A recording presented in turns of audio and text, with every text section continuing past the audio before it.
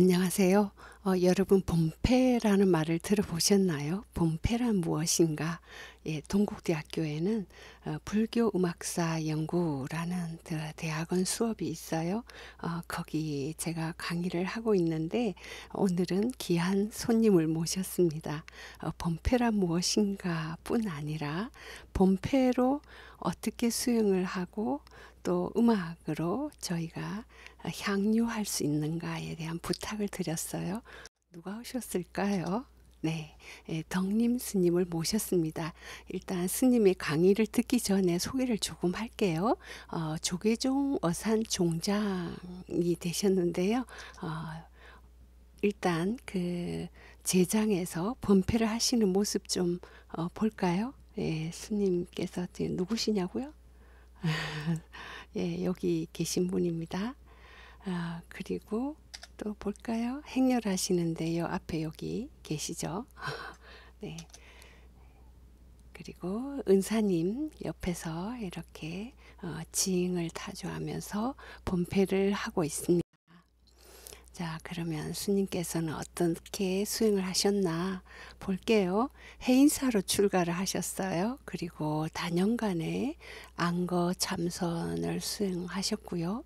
그 다음에 동국대학교 서울 캠퍼스의 선악과에 졸업을 하셨는데 그때 박사학위 논문으로 본패의 수행 원리와 활용 방안 연구를 어, 하셨어요. 어, 또 강의로 승, 중앙승가대학교에서 강의를 하셨고 또 동국대학교에서 자아 명상이라는 그 참선 지도하고 명상하는 어, 강의를 오랫동안 하셨습니다. 그리고 범패뿐 아니라 태평소도 잘 부시고요. 어, 동희 스님은 비구니 스님이신데 아주 그 특별하게도 어, 비쿠 스님을 수지자로 두셨습니다. 어, 진관사 수륙제를 이렇게 스승을 따라다니면서 하셨고 어, 얼마 전에 자승 대종사 다비식에서도 어, 이렇게 설행을 하셨습니다. 음, 지금 현재는 조계종 어산 종장이시고 어, 또 조계종 교육원의 교육부장으로 이렇게 소임을 맡고 계십니다. 그래서 이번 강의의 스님께 저는 특별히 이것을 부탁했어요. 수행과 명상 음악으로서의 범패를 좀 강의를 해 주십시오. 어, 그렇게 했는데 예, 우리 학생들 반응이 너무 좋았어요. 그런데 저희 대학원에 정말 쟁쟁한 연주자들이 많거든요. 그러다 보니까 다들 연주 생활로 바 바빠요. 그래서 어, 결강한 분도 있고 해서 어, 이 강의를 못 들은 분들을 위해서 어, 다시 공유를 합니다. 그런데 저희가 이렇게 될 줄 모르고 이렇게 촬영을 제대로 못했어요. 그래서 구석에 조그만 핸드폰을 이렇게 세워뒀는데 어, 여러분 그냥 이것을 뭐 화면에 그런 것보다 어, 수행한다 생각하고 정말 그 범패가 어떤 세계를 가지고 있는지 그 명상 수행으로서의 그 세계를 어, 명상한다 생각하고 어, 감상해 주시면 좋겠습니다. 어, 한국 불교는 그 불교 중에서도 선불교라고 하는 이런 그 불교의 어, 그런 이제 종 우리는 그 종지 어, 뭐라 그러지 한국 불교는 오더라고 합니다. 영어로 표현하면 오더. 그래서 그 불교의 종지, 가르침, 지향점을 가르치는 것이 대한불교 조계종의 특징인데 이것을 영어로 조계 오더, 영어로 표현하면 시킨다는 거죠. 이렇게 해. 이런 내용으로 가르침, 지향점을 가르치는 선종의 특징은 특징인데 이것을 영어로 장부 자유 충청기니 막향열의 행체하게 해. 장부는 하늘을 찌를 듯한 기상이 있으니 설령 부처님이 가신 길이라 하더라도 그대로 가지는 말아라. 독창적으로 살아라는 말씀이죠. 우리 문화예술대학원과 아주 뭔가 좀 이렇게 맞는 그런 또 결이라고 할 수 있습니다. 그래서 제가 이 문화예술대학원을 왔는지도 모르는데요. 이 그 출가를 하다 보면 이제 많은 새로운 문화를 배우게 되는데 그 속에서 어, 연불이라는 걸 외우고 가르치고 또 연습을 많이 하게 됩니다. 그래서 그걸 이제 전에 어, 처음에 행자실에 가면 저 스님 될래요 그러면은 옷 다 갈아입히고 어, 이렇게 이제 어, 머리는 아직 깎이지도 않은 상태에서 만야신경 외우세요. 뭐 일주일 내로 외우세요. 천수경 어, 보름 내로 외우세요. 이렇게 해가지고 막 외우면은 법당에 가서 예, 이렇게 이제 시키거든요. 목탁 주면서 어, 일정 시간을 주면서 신묘장구 대다라니 나무라 다나다라야야 나마갈야 바루기제 세바라야 무디 사사바야 무슨 뜻도 모르면서 막 하는 거예요. 이렇게 하면은 정말 이렇게 스님 노릇을 잘 하는 걸로 그렇게 믿고 또 이렇게 하면은 부처님께서 많은 그 도움을 주시리라고 믿고 그런데 하다 보면은 굉장히 이제 그 뭐랄까 우리 저기 예술계에서는 신명이라고 합니다. 신명 신명이 난다고 하는데 불교에서는 신심이 난다고 그러거든요. 좀 표현이 다릅니다. 우리는 신심난해 이렇게 하고 일반 예술계에서는 신명이라고 하는데 하다 보니까 아 이걸 정말 잘 배워 봐야 겠다 이런 생각이 들었고 그걸 좀 본격적으로 제가 찾는데 한 아, 3년 정도가 걸렸는데 그걸 찾고 보니까 어마어마한 예술적인 세계가 있더라고요. 일단 예술적인 방법론으로 봐도 어, 그래서 그걸 에, 찾아 찾아 가고 가고 하다 보니까 이 속에 엄청난 예술적인 자원이 있는 것도 발견했고 이 속에 엄청난 그 지향점 그러니까 어떤 그 모티브라고 할 수도 있죠 모티브가 있다는 것도 알았고 또 결국에는 박사 논문까지 이제 과정까지 연구하면서 하다 보니까 아 이것이 왜 이렇게 에, 가슴이 뭉클하고 왜 이렇게 어, 좋은 쪽으로 사람이 고무되는지 이유를 알았죠. 그게 뭐냐면은 원래가 수행이더라는 거예요. 이게 예. 그래서 혹자는 이게 예술이니까 불교도 여흥이 필요해서 여흥의 목적으로 하는 거 아니냐. 이렇게 에, 심하게는 표현하기도 하시는데 뭐 전혀 틀린 말은 아니지만은 이거 자체가 수행으로 한 것이고 수행으로 하다 보니까 어, 부처님께 귀합니다. 하다 보니까 어, 좀 더 잘해봐. 그러면 부처님께 귀합니다. 이런 식으로 자꾸 발전하다 보니까 그 옛날에 어, 우리 이제 그뭐 빨리어로 부처님께 예경을 드리고 또 한문으로 부처님께 예경을 드리고 이렇게 하는 과정에서 아름다운 음악들이 많이 나온 거예요. 근데 그게 음악을 즐기기 위해서 하고 여행을 즐기기 위해서 한 게 아니고 부처님께 어, 종교적인 헌사를 하고 예, 우리는 불교에서 귀라고 합니다. 귀의 예, 돌아가서 의지합니다. 인도에서 하는 인사가 나마스테죠. 당신께 맡기겠습니다라는 뜻이잖아요. 예, 그렇듯이 어, 부처님께 귀하고 헌사하고 부처님처럼 살겠습니다. 부처님의 가르침대로 살겠습니다. 어, 아까 이제 선불교에서는 어, 자기 독창성을 찾아라 이렇게 했지만은 그거 역시 부처님과 반대의 길은 아닙니다. 부처님도 독창적인 길을 가신 분이시잖아요. 그래서 제가 어, 범패를 어, 박사 과정에서 연구를 하다 보니까 범패가 정말로 좋은 수행이고 어, 부처님 사실은 불교 이전부터 있었던 수행이에요. 불교가 2568년 부처님 열반 기준으로 하면 2568년인데 한국에서 볼 때는 그렇습니다. 그런데 어, 불교 이전에 아주 오랜 종교적 전통이 있었죠. 인도에서 그 부분은 어, 지금 이제 본강, 본강의 우리 그 이제 지도 교수님이신 윤소희 교수님께서 워낙 많은 연구를 해 놓으셔가지고 아마 굉장히 많은 그 학계의 센세이션을 일으키시고 또 기감이 되고 있는 그런 내용입니다만 좋은 거 중요한 거라도 누가 찾지 않으면 모르잖아요. 다 찾, 거의 다 찾아놓으신 걸로 저는 알고 있습니다. 그런데 이, 이 수행이 범패 수행이라는 원형이 어, 종교적으로 너무 오래됐고 예술적으로 너무 깊이가 있고 또 철학적인 완성도까지 있다 보니까 부처님께서도 이거 이 수행을 그냥 버리지 않으시고 난 모든 걸 새로 할래 이렇게 하지 않으시고 종, 종 우리 불교 교단의 그대 그대로는 아니지만 개성 창달이라고 하지 않습니까? 더 좋게 발전시키셔가지고 불교 수행으로 우리 그 부처님의 제자들에게 소개하시고 수행하도록 권장하셨다. 이 내용까지 제가 박사 논문 하면서 어, 경전에서 부처님께서 말씀하신 내용을 통해서 확인한 바 있습니다.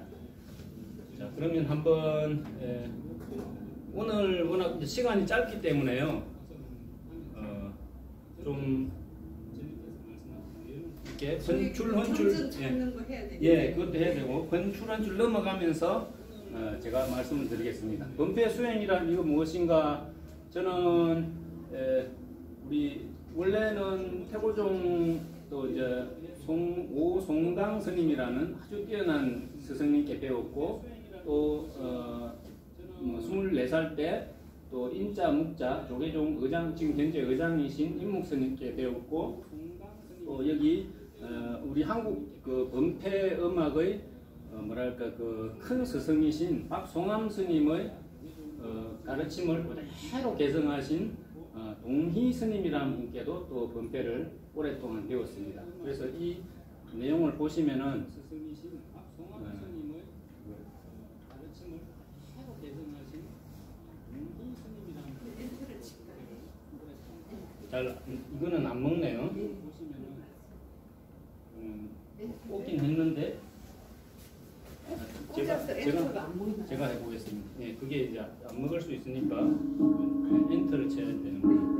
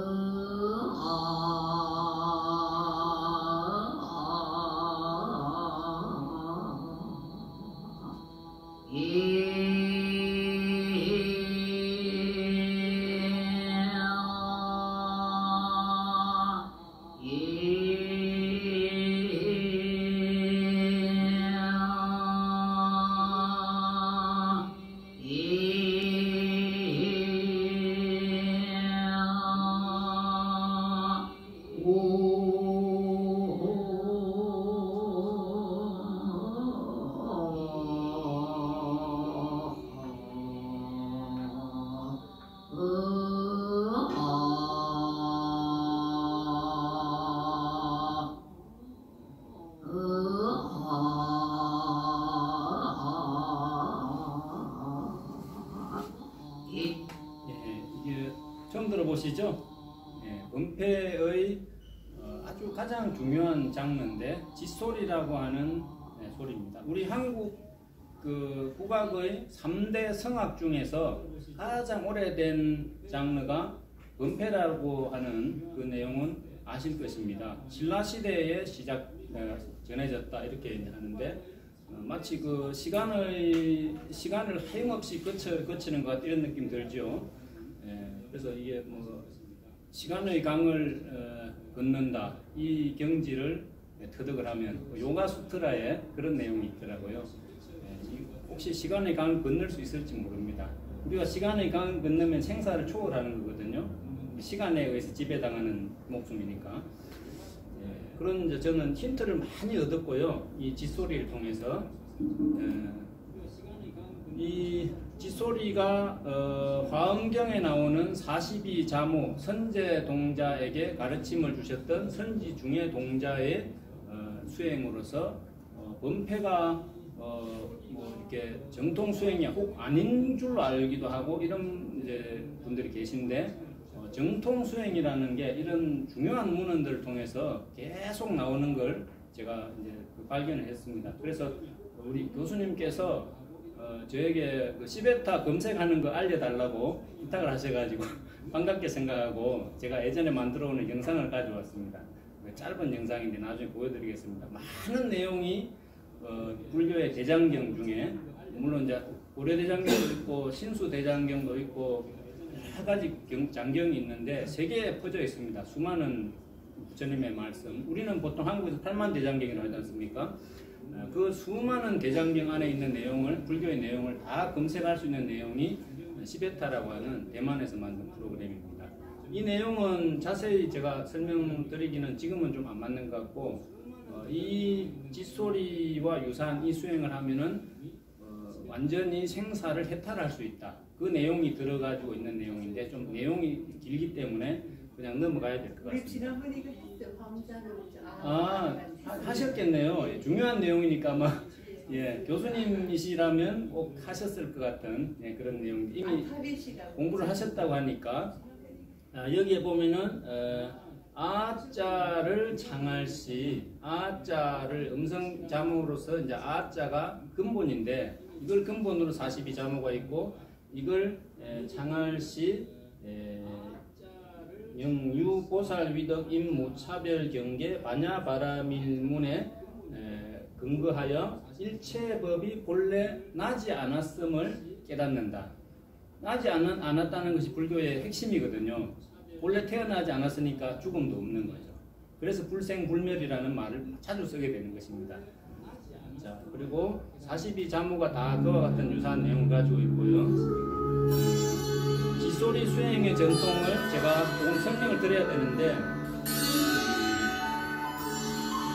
뒷소리 수행이 어, 이렇게 우주에서부터 잠깐만요. 이렇게 우주를 인간은 사유를 했습니다.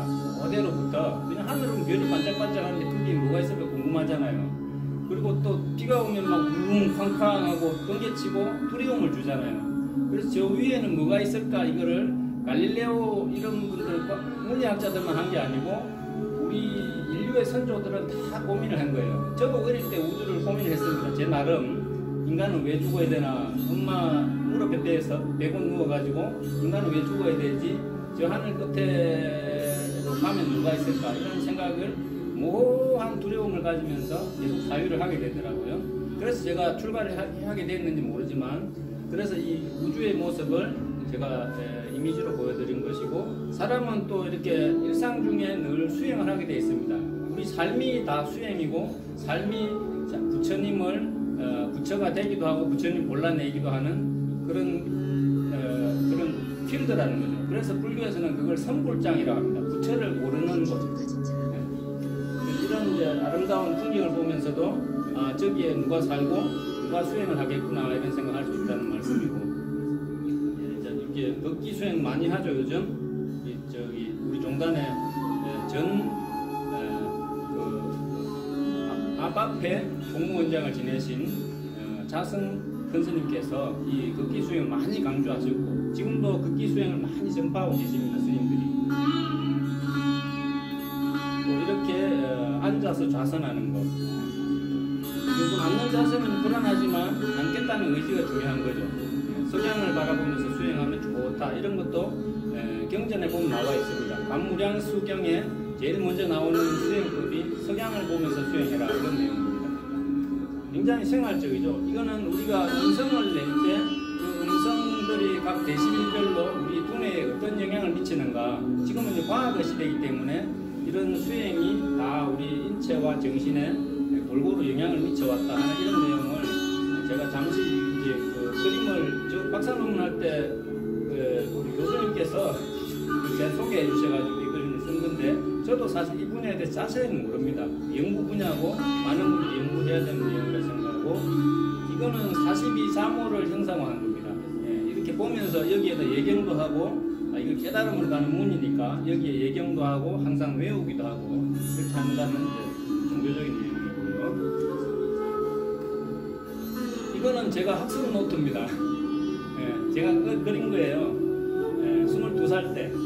이렇게 그려가지고 지하철에서도 외우고 걸어가면서도 외우고 자다가도 생각나면 꺼내서 도시락 꺼내, 꺼내서 보고 그래서 어, 이렇게 계속 골몰하면은 잘 될 수 있다. 예, 저는 외우는 거에 대해서는 어느 정도 좀 힘을 얻었다고 생각하면서 이거 보면서 그래서 이거 이제 아마 제가 죽고 나면은 제 후손들이 아마 에, 소중히 여겨야 될 거예요. 제가 제일 공부를 에, 어떻게 보면 집요하게 했던 그 흔적이기 때문에 매 페이지마다 다 이런 그림이 있고요.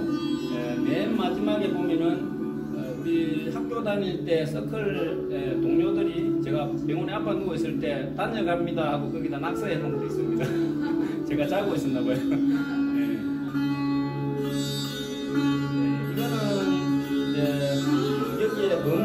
음음이라는 내용이 있죠.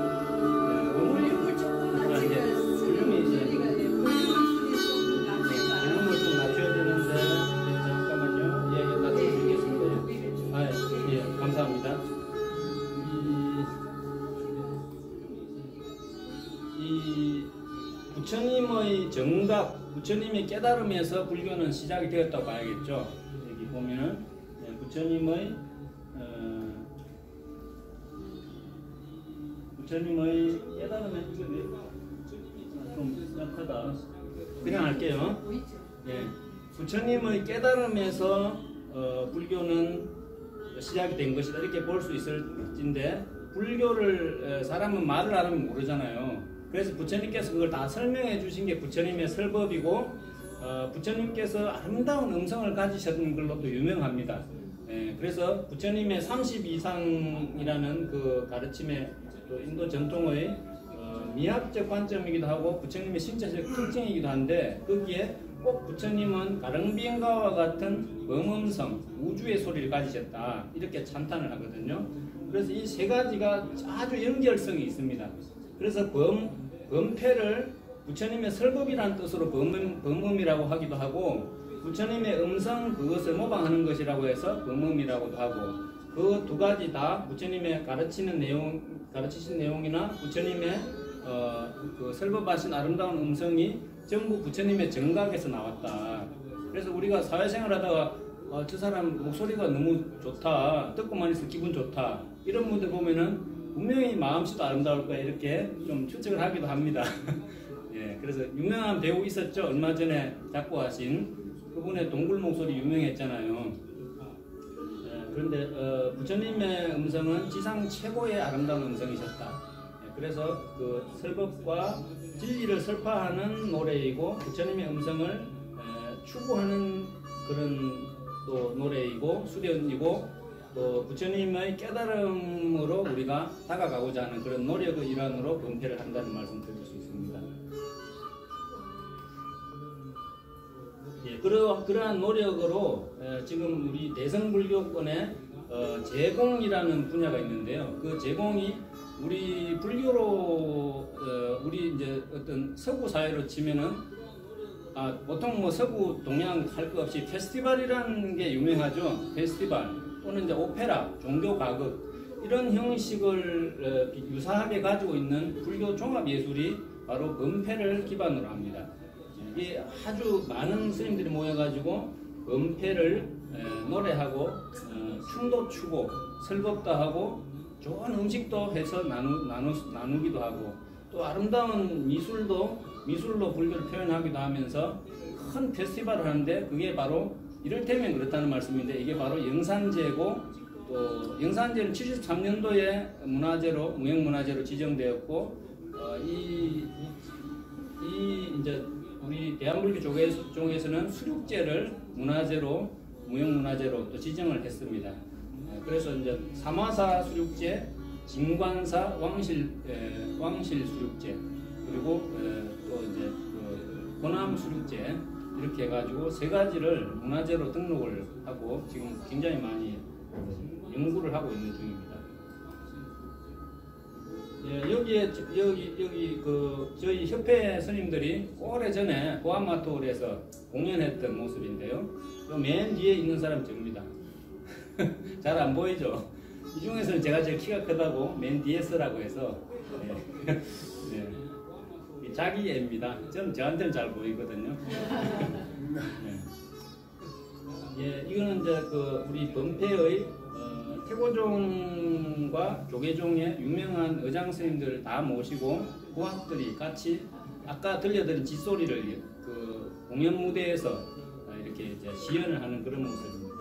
여기 어, 계신 분이 어, 저, 저에게 짖소리를 가르쳐 주신 동, 동자 희자 스님이시고요. 네, 현재 대한불교 조계종 어, 의장이십니다. 또 여기 가운데 계신 분은 태고종 영산보존회에서 어, 본패를 전부 관장하고 계신 영산보존회 총재 스님. 네, 그리고 또 여기 계신 분은 에, 그 저기 본패의 큰 스승이신 송자 암자 어, 의장 스님의 어, 장남이시고 또 영산제 고문이시기도 하시고 굉장히 큰 어른들을 모시고 저희가 이제 본패를 배우고 옆에 계시는 예, 예. 고산 스님이라고 합니다. 아드님이세요? 고산 스님, 예. 예. 그리고 어, 여기 맨 이제 끝에서 두 번째 제가 있죠. 좀 지금하고 얼굴이 많이 다르지만 예, 예 그렇게 있습니다. 열심히 했었습니다.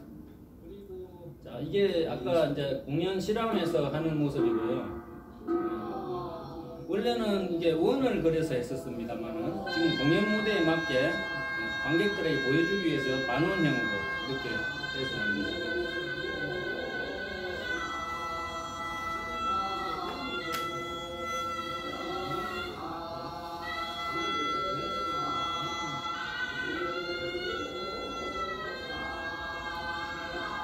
좌중을 이렇게 둘러보시죠. 잘 맞추고 있나. 네, 획일되지 않게 직접 살피시면서 의장 스님께서 진두지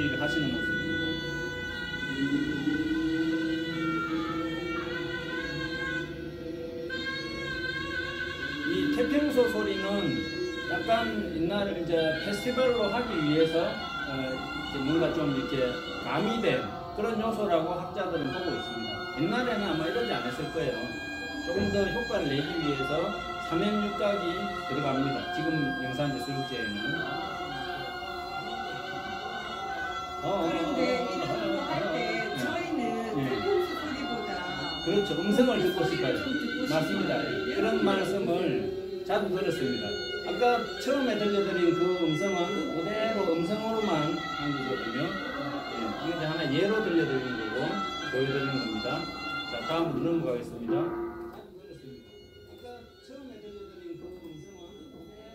예, 제가 이제 공부했던 예, 필사한 구원보입니다. 예, 범패 악보를 어떻게 해야 되느냐 이런 거를 어, 인도 음악을 악보를 어떻게 해야 됩니까? 인도 분들한테 물어보면은 별 걱정을 다 한다 그런데요. 인도 분들 왜냐면 자기들 전통이 너무 확고하기 때문에 예, 악보로 그리지 않는 것이 우리들의 비법이다 이런 식으로 얘기한대요. 예, 그런데 범패가 인도에서 유래돼서 그런지 악보로 그리기가 너무너무 요원합니다. 그래서 이거 범패만큼은 어, 성악이 대부분 그렇죠. 가곡은 제가 저도 국악과 다닐 때 악보로 공부도 했지만 판소리하고 성악만큼은 그래서 자연의 소리와 너무 가깝기 때문에 이걸 소리라고 하는 게 아닌가 어, 그런 생각을 하지만 아직도 어, 방법이 나오지 않고 있습니다. 굉장히 미묘한 소리가 많거든요. 저기 보면 도량계 에,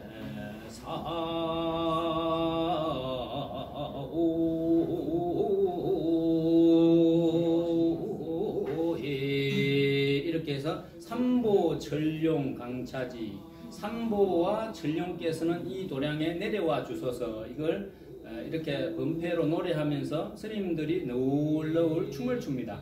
예, 그렇게 이제 장엄한 장엄한 형태로 되어 있다는 거죠. 자, 그다음에 에, 이거는 거부를 제가 가르칠 때 에, 이렇게 꼭 그래 달라 그래요. 자기가 그래야지 공부가 되는 줄 모르고 꼭 그래 달라 그래요. 그래서 제가 좀 성의 없게 그립니다. 자세히는 본인들이 알아서 그리라고 자, 한번 해볼까요? 이거. 예. 나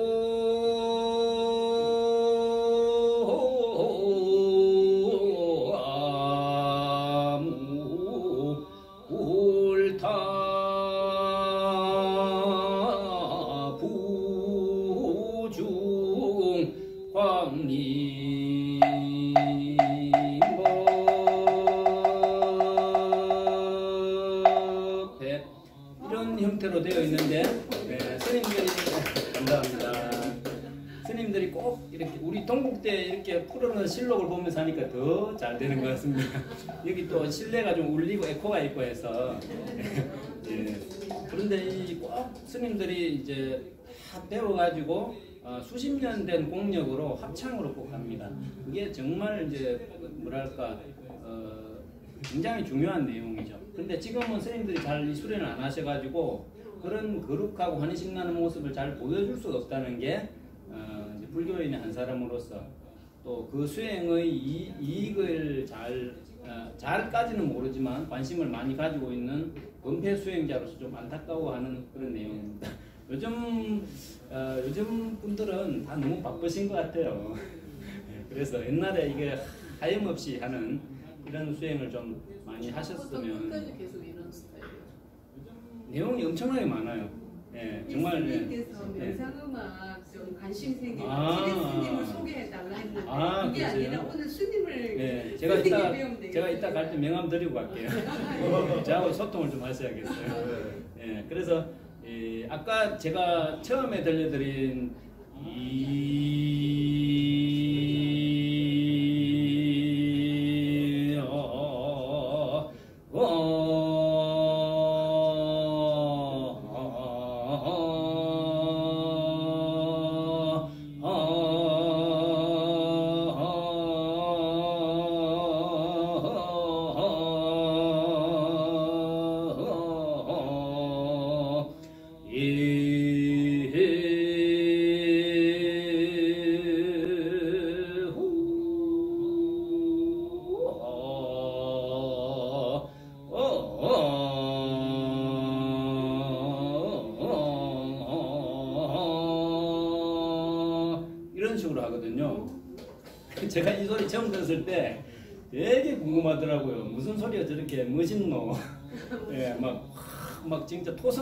옆을 막 기전을 지나가는 것 같은 우주 공간에 있는 것 같은 느낌 들고 그게 제가 이 범패를 연구를 하기는 하나의 이제 운동력이 된 것 같아요. 왜 저렇게 에, 소리가 또 아까 했던 거하고 다르죠?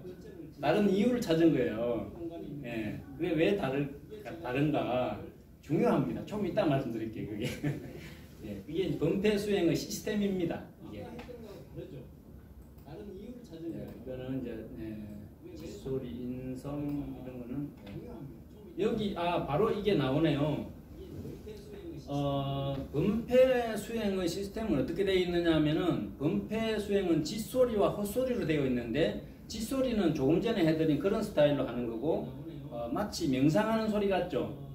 명상하고 깊은 선정으로 심연의 세계로 들어가는 소리가 나잖아요. 이거는 이 소리는 저는 아마 확실하게 장담하기는 아직 이르지만 어, 화음 42 자, 자모와 같은 이런 수행 아, 이거 화음 42 자모에도 음성 공명에도 나와 있지 않습니까? 예, 이런 그 수행에서 비롯되었을 것이다. 그리고 어, 근래에 소논문 쓰다가 그것도 몇 년 전이지만 어, 근래에 소논문 쓰다가 영산제와 같은 다양한 수행 스타일이 있는 거기에서 제가 수년 동안 모르고 수행했던 모르고 배웠던 그 하나의 형태에서 어, 완전히 힌트를 얻어냈죠. 예, 그래서 이게 자모에서 비롯된 수행이다. 그리고 막 이제 시베타 뒤지고 하다 보니까 어, 인도에서부터 대성불교 경로를 통해서 명확하게 다 전해졌고 예, 대만에도 명확하게 그 수행이 있고 또 문헌으로 많이 있고 한데 우리 한국 불교가 너무 고생을 많이 했어요.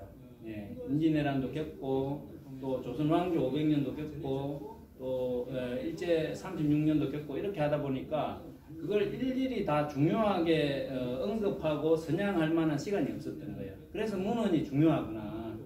문헌하고 음악은 저는 타임캡슐이라 생각하거든요. 이유를 몰라도 하잖아요, 사람들이.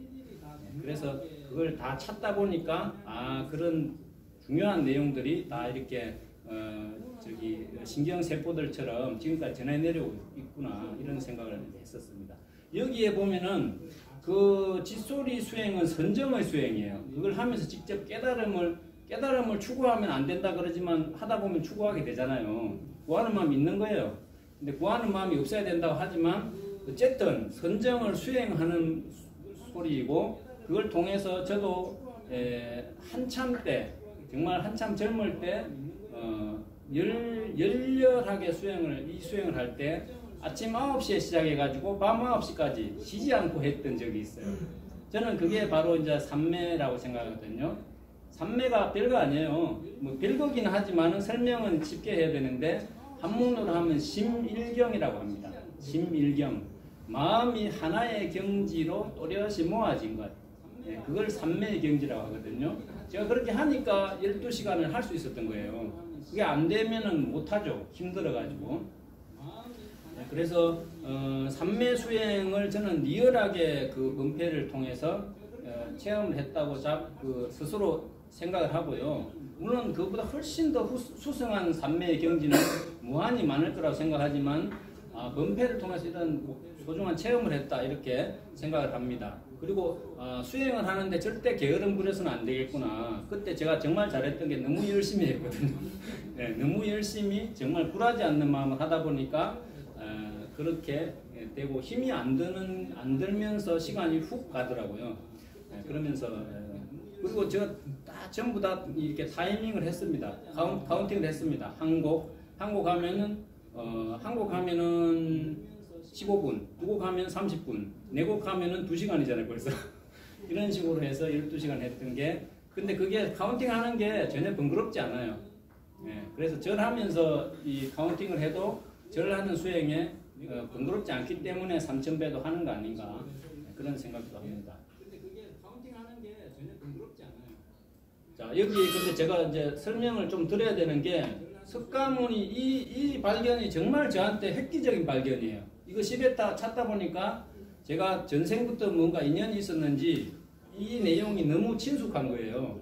근데 그거는 제 개인적인 소회고 어, 여기 석가모니 부처님께서 전생에 수행을 하셨는데 전생에 불사불이라는 부처님을 만나서 제가 간단하게 써머리 해드릴게요.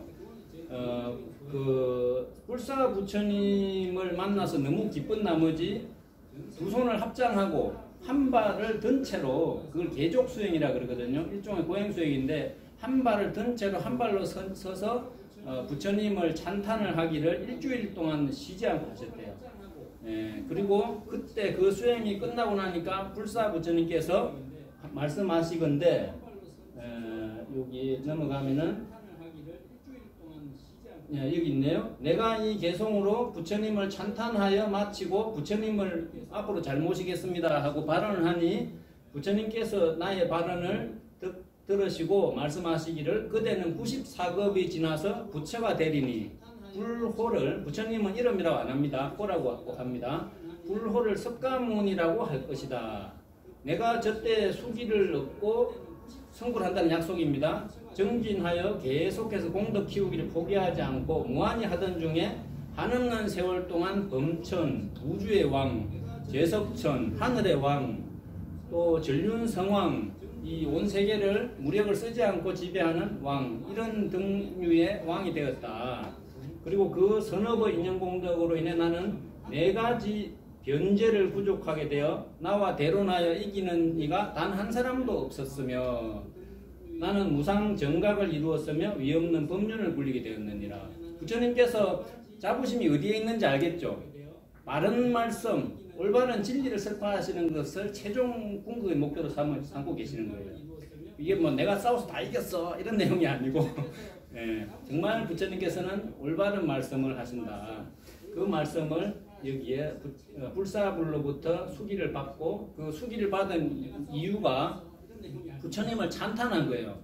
우리는 찬탄하면은 뭐 칭찬하면은 뭐 아부하지 마, 뭐 이렇게 할 수도 있지만 그런 차원이 아니라 정말 바른 마음, 거짓 없는 마음으로 찬탄하는 것은 최상의 수행이라는 것을 경전에서 무수히 보았습니다. 저는 관심을 가지고 보니까 무수히 보이더라고요. 예, 그래서 이 그 이 찬탄하는 내용이 선정 수행을 하면서 찬탄을 해야지 성불을 한다. 그리고 초고속으로 빠른 속도로 한다. 그런 내용이 있습니다. 그 경전에 다 있더라고요. 예, 그런 내용이 주로 이제 우리가 잘 알려진 경전 중에 법화경에 있고요. 상불경 보살품에 보면은 누가 그렇게 듣기 싫으라 해도 당신을 존경합니다. 부처가 될 뿐이시여 이렇게 계속 일생 동안 하셨대요. 다른 수행 아무것도 안 하시고 오로지 그 수행만 하셨는데 어, 사람들이 막 쫓아 보내고 도망다니면서도 했다고 해요. 근데 그, 어, 그 독특한 캐릭터가 부처님의 자신의 전생이라고 부처님께서 고백을 하십니다. 법화경에 굉장한 의미가 있다고 저는 그렇게 생각을 합니다. 그리고 이제 금강명정이라는 거기에 어, 경전에 보면은 아주 무한한 속도로 어, 그 수행을 모르는 수행자를 어, 능가한다. 이 찬탄하는 수행을 하면은 그렇게 부처님께서 아주 그냥 누누이 오구정정하게 그 말씀을 하시고 계세요. 찬탄을 해야 한다. 이 말씀을. 예, 이거는 이제 호- 이 아까 제가 말씀드린 나해 좀 낭낭하잖아요. 이거는 바로 찬탄하는 소리예요. 찬탄하는 전통이 생긴 거예요. 그래서 이 내용이 영산제나 술제 보면은 한 7, 80%가 이 내용으로 되어 있습니다. 찬탄이 그만큼 중요하다는 거예요. 여기 이 토끼가 저기 그 본생경에 보면은 전생에 부처님이셨는데 수행자에게 드릴 게 없어서 모닥불에 자기가 스스로 뛰어들었다는 그 설화예요. 이흰 토끼가 불, 불 위로 뛰어들잖아요, 그죠? 예. 여기 토끼가 신다는 내용은 그만큼 순수한 수행자라 이런 상징을 가지고 시계 표현을 했을 겁니다. 대개 그렇습니다. 경전 어, 서사 풀을 보면은 여기 아이들이 아 주인 선생님 사랑해요 하잖아요 그죠 이런 순수한 마음이 바로 찬탄이라는 거 예. 자 이런 여기에도 보면은 부처님께서 다른 세계에서 또 부처님께 어, 수기를 받으셨는데 연등불 연등 부처님께 수기를 받았는데 어떻게 해서 받았느냐 부처님이 진흙탕 위를 걸어가시니까 사람들 환영을 받아 걸어가시니까 해드릴 게 없으니까 자기 머리를 땅에다 깔아드렸다 그럼 여기를 밟고 지나가십시오. 이렇게 했다는. 그래서 연등 부처님께서 예, 예, 빨리 지나가겠다. 요격 때문에 팔아서 안 보여. 여기 머리 엎드려 아. 말하는 겁니다. 예, 석가모니 부처님의 전생 수행의. 팔이 이번에 참고로 이번에 보스턴에서 이제 제가 큰 스님들 모시고 가서 에, 보스턴에서 85년 만에 에, 다시 환수해온 부처님 사리 중에 연등 부처님 사리가 있었습니다.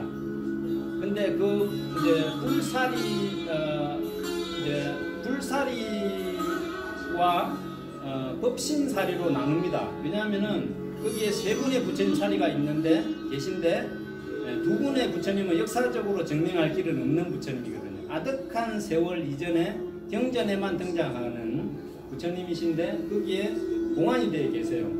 그 연등 부처님하고 가섭 부처님께서 예, 그래서 가섭 부처님은 아주 정말 급초의 부처님이시고 연등 부처님은 석가모니 부처님께 수기를 주신 내용인데 왜 어, 그렇게 고려 최대의 사찰에 대암사에 그런 사리가 모셔져 있을까? 시대타에도 가도 그게 이제 그 경전 제목을 입력한 지금 스님 무념하니까 무념이 들어간 경전 내용이 쭉 나오잖아요. 쭉 나오고 그 중요한 게 시- 중요한 기능이 무념이라는 내용이 전부 노란색으로 반전돼서 나타납니다. 네. 그래서 전부 이 지도 보듯이 거기에서 찾아서 이제 여기에는 어떤 내용, 무념에 대한 어떤 내용이 있는지 문장의 내용을 자기가 이렇게 해석, 해독을 해봐야 돼요.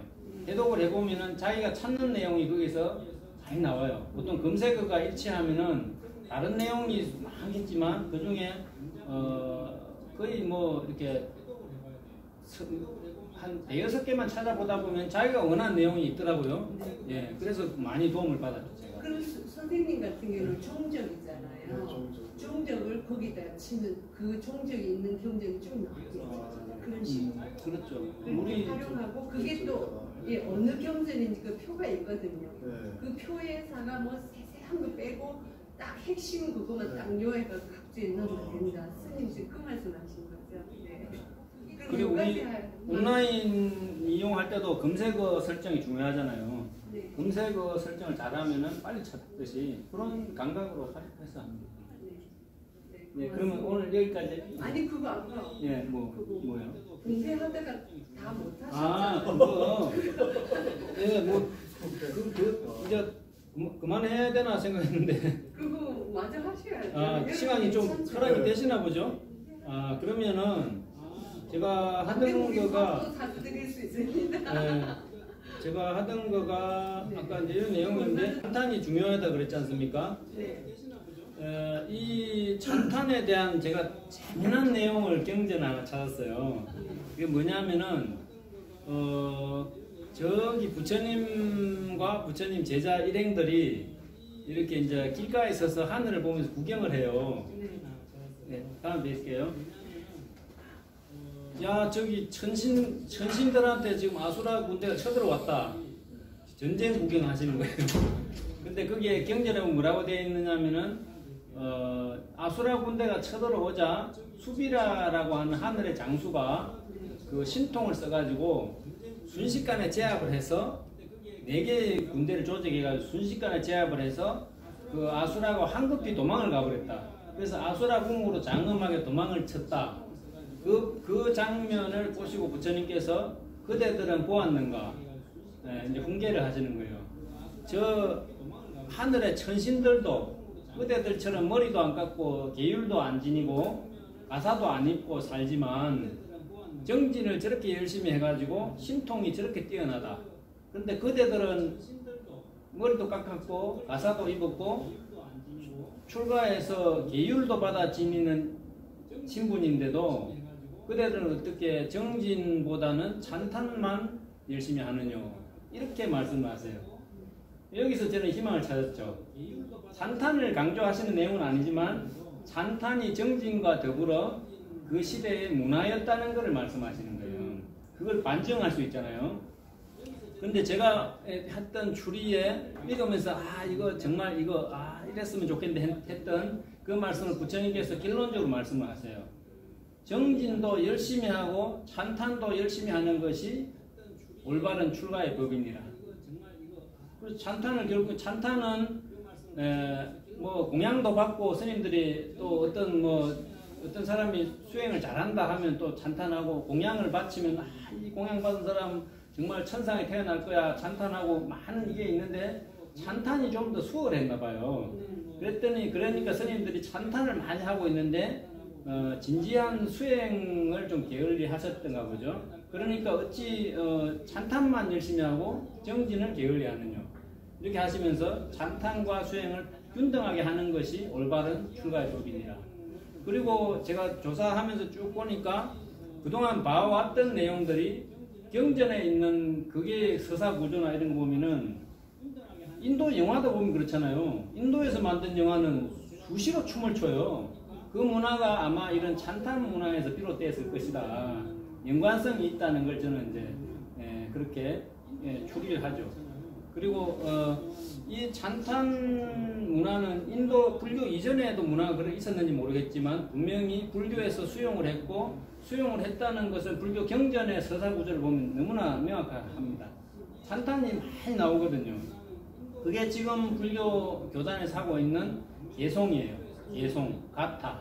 네, 그렇죠, 그렇죠.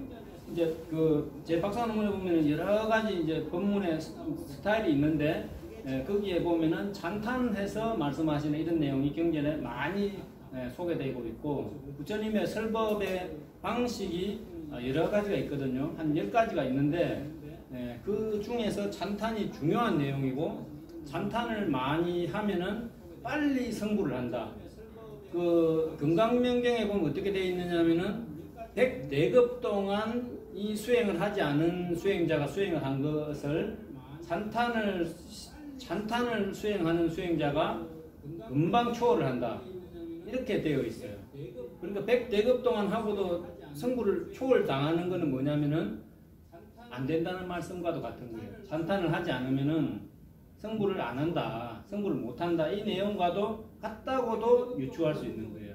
그래서 법화경에 부처님께서 그렇게 어, 아주 독특한 저기 상불경 보살과 같은 그런 전생을 회고하시면서 찬탄을 강조하신 거다.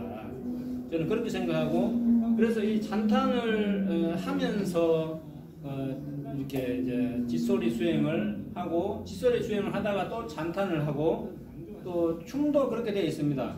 나비무는 이렇게 하거든요. 이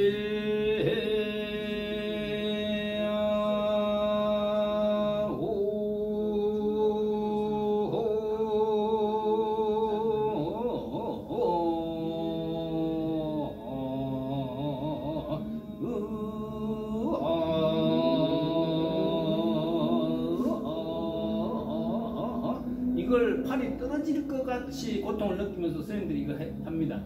왜냐하면 이게 선정의 수행이기 때문에 선정과 같은 몸짓으로 하기 위해서 소리도 선정, 몸짓도 선정을 예, 일체적으로 해서 수행을 하는 거죠. 예, 이걸 이제 어, 저는 그 자모 수행, 뒷소리 수행의 어, 작법이라고 이렇게 불- 보았고요. 나비 이거를 사방요신이라 해가지고 하나 둘 셋 넷 둘 둘 셋 넷. 우리 기초 이제 수행할 때 셋 둘 셋 넷 넷 둘 셋 넷. 하나 둘 셋 넷. 둘 둘 셋 넷. 셋 둘 셋 넷. 넷 둘 셋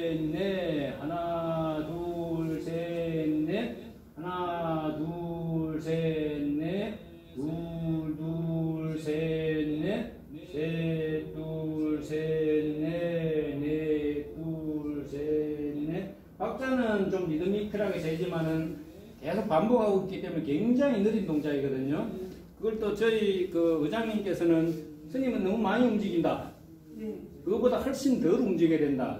그러시거든요. 근데 저는 지금 좀 보여드리기 위해서 이제 형태를 좀 갖춰서 하는 거고 굉장히 미세한 움직임을 해요. 자기가. 자기가 움직이는지 자기도 헷갈릴 정도로 그렇게 합니다. 그래서 이걸 어떤 스님들은 거의 안 움직이는 것처럼 보여요. 이렇게 안 움직이지는 않겠지만 그렇게 이렇게 하거든요. 그래서 이거는 분명히 이게 선정의 어, 선정의 수행이다. 그리고 찬탄으로 할 때는 너울너울 나비 같은 몸짓을 합니다. 도에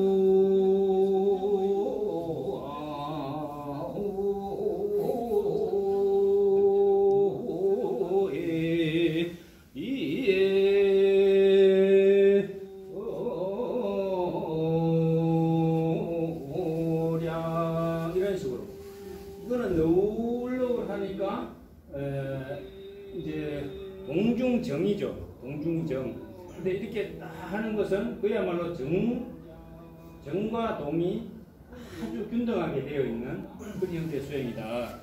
근데 여기에 비해서 마라충을 보면은 굉장히 역동적으로 하죠. 이게 찬탄의 모습이라는 거예요. 궁금한 게. 각자 쓰시는 게 하시는 게 지금 3분밖에 배우고 하셔서 4분, 2분밖에 배우고 하셨는지 아까 그쭉 보여주실 때 하나 둘셋넷 둘셋넷 이렇게 하셨는데 어, 2분박, 3분박 그 개념 없습니다. 그 불가 불가 박자에는 저도 거기에 대해서 생각을 좀 오래 했는데 불가 박자는 원초적인 박자예요. 예, 이제 불가의 박자는 옥탁으로 표현이 되는데 어, 이건 일자고 그 다음에 아, 이거는 앞에는 천수박이라고 천수박. 정구업지는 수 일자박이에요. 근데 이 연불박은 충곡 같아요. 덩실덩실덩실덩실덩 이등이 있잖아요. 박자 속에 이렇게 되어 있는데 이 기초적인 이제 연구를 할 때는 묘